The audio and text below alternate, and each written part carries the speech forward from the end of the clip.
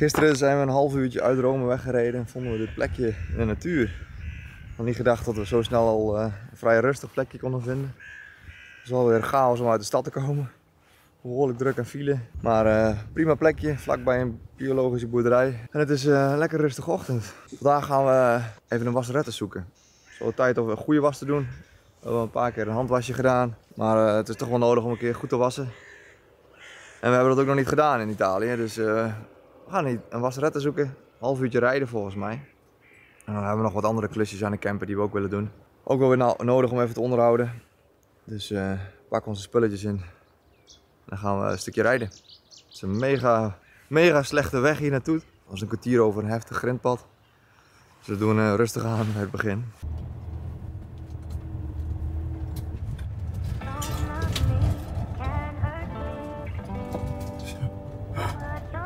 Dat is toch zo. Je stuit het ook op die hommels. Bij deze kuilen ook. Ja.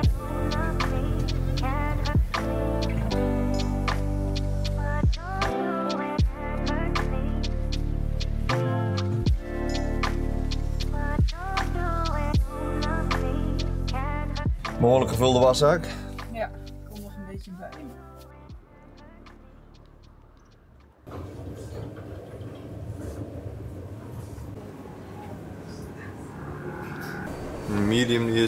Ja, 6,50.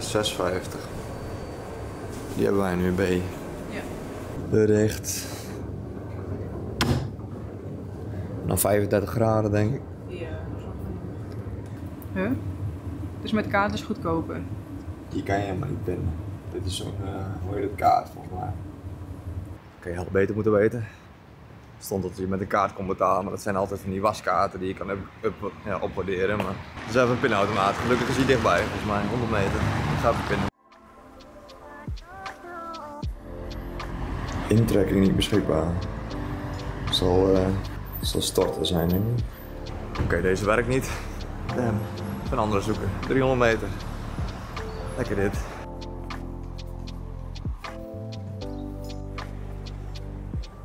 Dat was dus geen pinautomaat. Dat was alleen een bank.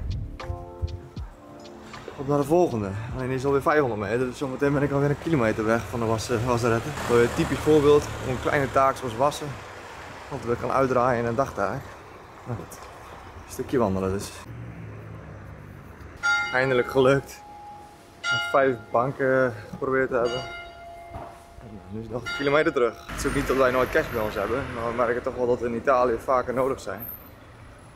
We hebben in Rome gisteren ons laatste contante geld uitgegeven bij de parkeerplaats. Dus. Maar goed, we zijn er weer.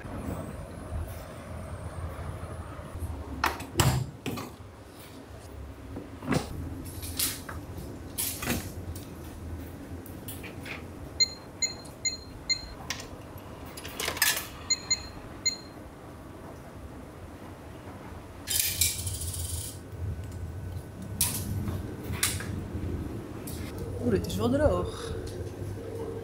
Ja. Nou, de was is klaar. Heeft even wat moeite gekost. Twee keer drogen, één keer wassen. Half uur pinnen zoeken, een pinautomaat zoeken. Maar eh, we zijn klaar. Het is inmiddels alweer eh, rond de middag. We gaan nog even verder rijden. En nog een paar klusjes doen. Water eh, moeten we vullen en we zijn ook even bezig met het waterfilteren. Nu kwamen we erachter dat deze kaart eh, van ons, van Italië, best wel goed de tolwegen aangeeft. Dus je kan ook zien dat hier alweer tolwegen beginnen. Nou maken we daar helemaal niet de sport van om die te ontwijken. Maar die eh, loopt ook alweer in de bergen, want er zit eh, langs de kust een, soort bergrug. Dat kan je hier wel zien. Gaat er tussendoor. Nou ja, onderdoor, onderdoor zijn geen tolwegen en dat lijkt ons ook wel mooi om te rijden. En dan zoeken we daar ergens misschien een slaapplekje voordat we bij Napels uitkomen. Om dat hele stuk in één keer rijden, dat is ook nog wel een heel eind. Dus we gaan even een stukje naar de kust rijden. En dan gaan we even een waterpunt zoeken waar we, waar we verder kunnen met de bus. Dat gaan we doen. Dat gaan we doen en we gaan nog even eten onderweg. Ja. We kunnen nog wel even wachten. Eerst even uit deze stad, want we staan hier eh, pal langs de weg.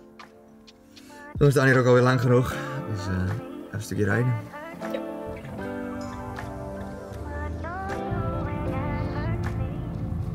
Chaos. Kijk, dat is niet nice. Oprit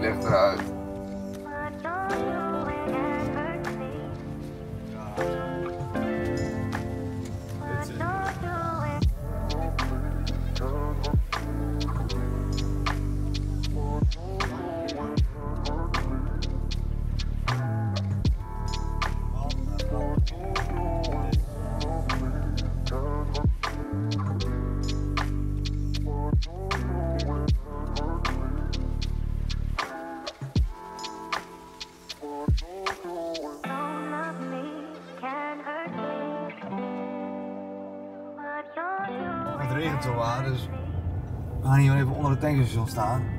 We moeten even bij de achterklep even wat spullen pakken uit eh, De een van- kisten. een van onze kisten. Ik ben even bezig met ons waterfilter. Maar die zit natuurlijk weer achter in de garage, dus het regent gewoon, dus we moeten maar even hier staan. Yep. Het verhaal van ons waterfilter is dat wij die inmiddels alweer zes maanden in onze camper hebben. En we hebben hem een aantal keer schoongemaakt. Dat hebben we ook wel een keer laten zien en dat, dat werkt goed. Alleen merken we de laatste tijd dat hij eh, nou ja, toch echt wel weer op hol begint te slaan. Als je een drukpomp hebt, dan slaat die pomp aan als de druk eh, wegvalt. Nou ja, met een waterfilter hebben we natuurlijk extra weerstand. Dus nu gaat de pomp best wel snel. We hebben nog een reservefilter bij ons, dus die gaan we er vandaag even inzetten. Wat belangrijk is daarvoor, dus dat wij ook een waterpunt hebben. Nu hebben we in deze haven hier een waterpunt gevonden die eh, voor boten beschikbaar is. Dus nu kunnen wij onze tank leeg laten lopen. Het hele systeem eigenlijk, het hele watersysteem. En dan kunnen we ons waterfilter eruit halen en het filterelement vervangen. En dan moeten we het weer vullen. Dus dat is even wat werk. Dus we gaan eerst het systeem even leeg laten lopen. We laten de boilerkant hier leeg lopen en dan eh, de achterkant van de watertank. En dan eh, kunnen we hem leeg losgroeven. En daar zit ons aftapkraantje voor de boiler. Die gooien we omhoog en dan loopt hij onder de auto leeg. En nu is dit grijze kastje hier. Een watervulpunt voor boten. Ja, daar kunnen wij onze slang ook op kwijt. Niet ideaal. Zeker niet omdat het zo drukke weg is en eh, het verboden is. Maar prima, het werkt. Dus nu, eh, het... nu het waterfilter leeg is, ga ik die pot eraf draaien en dan uh, haal hem er even uit. Dat is hem. Je ziet wel die buitenste koollaag, die kan je schoonmaken met, het, met, deze filter, met deze ring. Om het wat op te ruwen als het, als het verzadigt. Dus deze ziet er nog goed nieuw uit. Kan we er een, eh, zeker een half jaar, een jaar tegenaan. Ja. Gaan we er weer opzetten. Nou, die zitten weer op. En dan moeten we even kijken of we de bus daar eh, kwijt kunnen bij de fonteintje.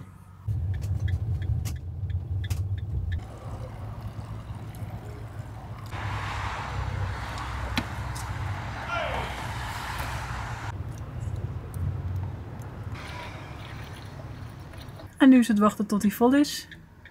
Er staat best wel veel druk op, dus het valt mee. Lucht eruit.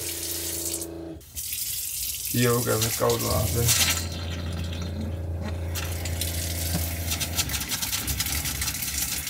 Zo, ook weer een klus klaar. Het systeem is helemaal lucht, gevuld. Dus nu eh, is de pomp in ieder geval heel wat rustiger.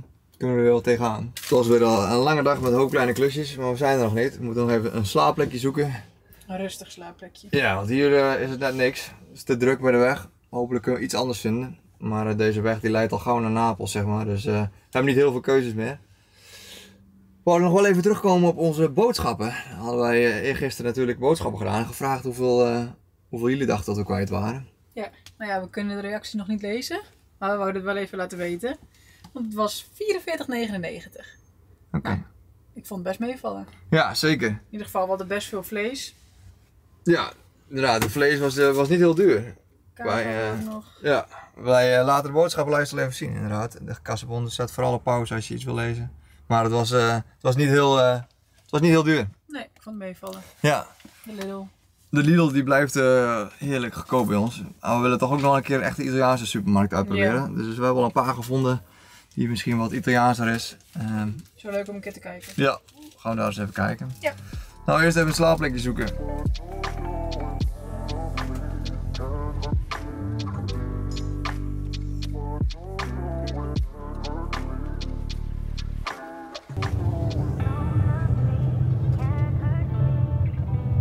Ja.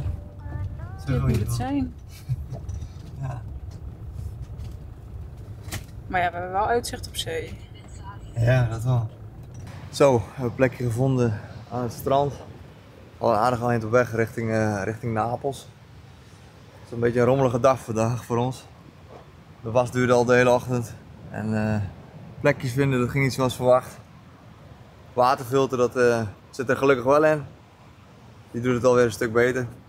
Plekjes langs de kust zijn ook lastig te vinden hier. Het voelt allemaal een beetje verlaten hier, toen we hierheen reden. En ook een beetje loesje.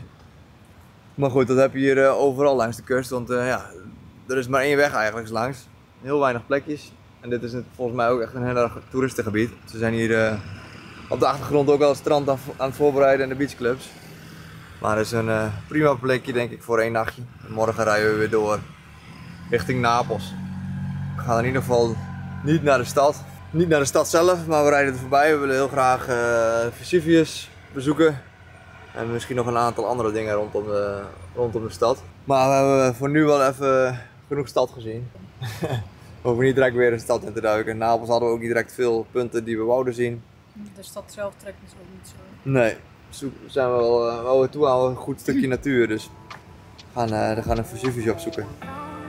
Bedankt voor het kijken in ieder geval. En uh, zien jullie morgen. Doei doei!